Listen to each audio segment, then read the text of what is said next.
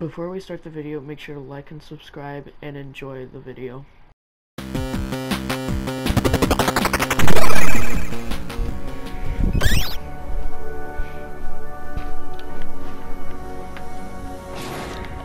Alright guys, so this video is how to get outside of your storm shield. So like, when you have a, an annoying shield and you want to build outside of it, you know, this will be really helpful, because like, you know, it's a little bit hard to get up your storm shield. So this is how you do it.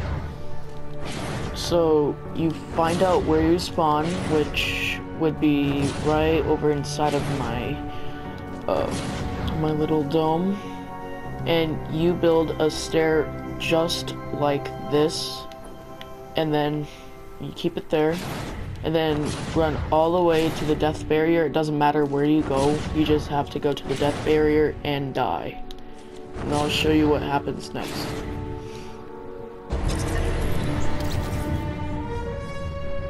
Just let it revive.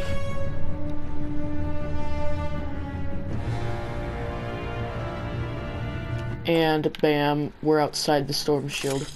You see, look, I am outside the storm shield. And you can do anything back here, just like, be careful because you can die. And you cannot get back in unless you rejoin your storm shield.